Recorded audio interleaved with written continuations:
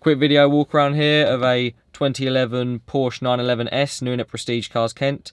This car finished in Carrara white and comes with the cabriolet top in black. You can see you've got the optional 19 inch sport design alloy wheels and the uh, standard Bi-Xenon lighting system here with the headlamp leveling. You've got the electric rear deploying spoiler as standard, the sports exhaust system here with the chrome tips you can see and the this car does come with park assist which is uh, an optional feature.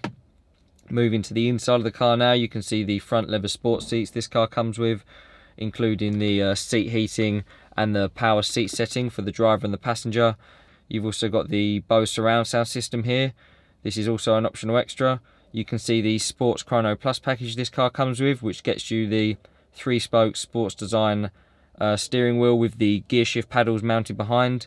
You've got the 60 second timer on the top of the dash you get launch control with this, which you can only use through uh, launching from the car with the brake down, pushing the accelerator straight to the floor, and it will ping up on the steering wheel.